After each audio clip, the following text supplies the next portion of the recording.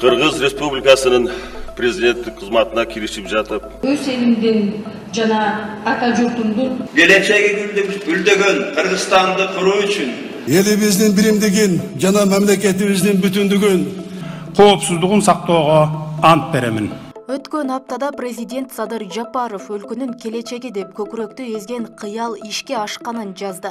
Анда эл жерибиздин түбөлүк ынтымагы үчүн мурдагы президенттердин башын бириктирип бир столго отургуздум деп билдирди. Экс президенттер бирин бири кечиришкенин да жазган. Жолугушууга аскар акаев курманбек бакиев роза отунбаева алмазбек атамбаев сооронбай жээнбеков катышканын билдирди. Жолугушуу нейтралдуу жерде өткөн боюбузга сиңип бараткан мындай арсыз сапаттарды ары калчап бери калчап олтуруп ошол башында эл шайлаган аягы кейиштүү бүткөн президенттердин башын бириктирсем балким бир муштумга түйүлгөн ынтымактуу журт болот белек деген ой көптөн бери көкүрөгүмдө эзип келет эле.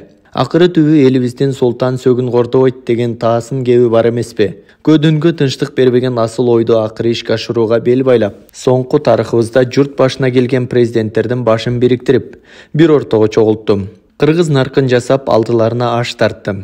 Уй мүйүз тарта олтура улут келечеги үчүн мурдагы журт башчылары өткөндөрүн сууга салышып бир муштумга биригүү демилгемди колдоп беришти. Ал арада мурдагы президент алмазбек атамбаев жолугушууда болгонун тастыктап бирок ортого салынган ойдо президент садыр жапаров туура чечим кабыл алаарынан үмүт кылаарын билдирди. Ал эми туңгуч президент аскар акаев жапаровдун кадамын тарыхый окуя деп баалады. Албетте мамлекеттүүлүктү жана элдин ынтымагын чыңдоо президенттин түздөн түз башкы конституциялык милдети. Ал мындай милдетти иш жүзүндө толугу менен аткарып жаткандыгы кубандырат жеке мен бул демилгени колдодум жана кесиптештеримди кыргызстандын жаркын келечеги жана кыргыз коомчулугунда туруктуулукту сактоо үчүн биримдикке чакырдым кыргызстандын алты президенти бир жерге чогулганы коомчулукта кызуу талкууга жем таштады. Айрымдар президент жапаровдун бул кадамын колдосо айрымдар экс президенттерди убагында кетирген катачылыктары үчүн эл дагы кечириши керек деген жүйөлөрүн айтышууда ой жакшы эле баары биримдикке алып келиш керек да баланы ал эмне качып кетсе ал акыры мына жака көмүлөт да бир нерсе туурабы ошон үчүн кыргыз ынтымактуу болуш керек алар деле иштеди мисалы үчүн иштегендерден бакиев жакшы иштеди аябай эми атамбаевди билип атабыз ол эми баягы коррупционер киши экен аны деле кечирип атат байкөлдүк кылып атат президентибиз эгер түшүнсөңөр эл кечирет да элди президент кечирсе элди да кечирет да кантип кечирбесин атаңы өлтүргөн апаң алып бер дегендей бул жакшы нерсе ошондой неме кылса м, эл кыргызстан эми өлүп келатканда эле ушу бийлик талашып неме кылышып атат анын эмне кереги бар бизге ошо садыр жапаров э, ташиев камчыбек ташиевтерге окшогон адамдар керек элди эми оңдоп атканда иш кылган иштери билинип атыр кумтөрдү алды.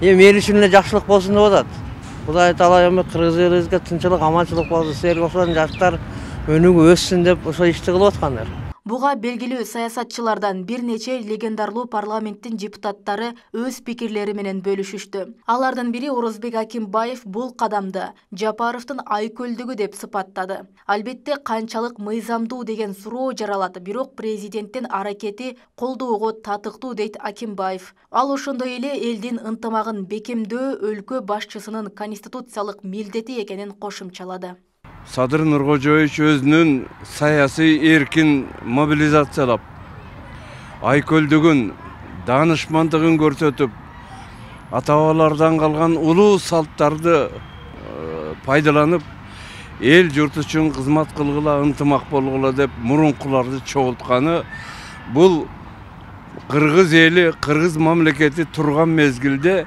эстен чыкпай турган унутулбай турган бир чоң тарыхый фактор болду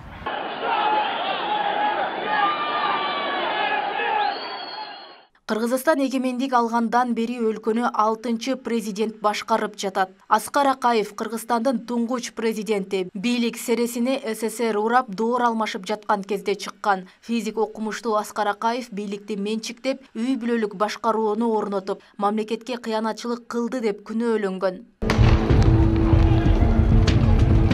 курманбек бакиев эки миң бешинчи жылдагы март анклавында бийликке келген. Акаевдин каталарын кайталабайм деген ант менен тактыга отурган курманбек бакиев эки жолу шайланган.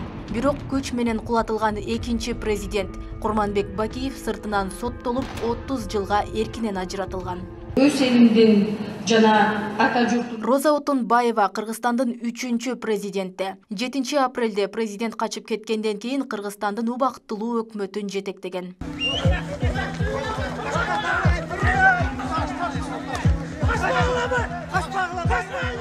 алмазбек атамбаев кыргызстандын төртүнчү президенти. эки миң он жетинчи жылы бийликти сооронбай жээнбековго өткөрүп берген. эки миң он тогузунчу жылы батукаевдин иши боюнча камалып кой таш окуясында ызы чуу менен колго түшкөн сооронбай жээнбеков кыргызстандын бешинчи президенти эки миң он жетинчи жылдын октябрында президент болуп шайланып толук эки жыл башкарды. эки миң жыйырманчы жылдагы парламенттик шайлоонун жыйынтыгы чыккандан акциясынан улам тактыдан кулаган. Ал эми садыр жапаров президенттик милдетти мойнуна алганына эки жылдын жүзү болду. Роза акматжан кызы белек мусаев ош тв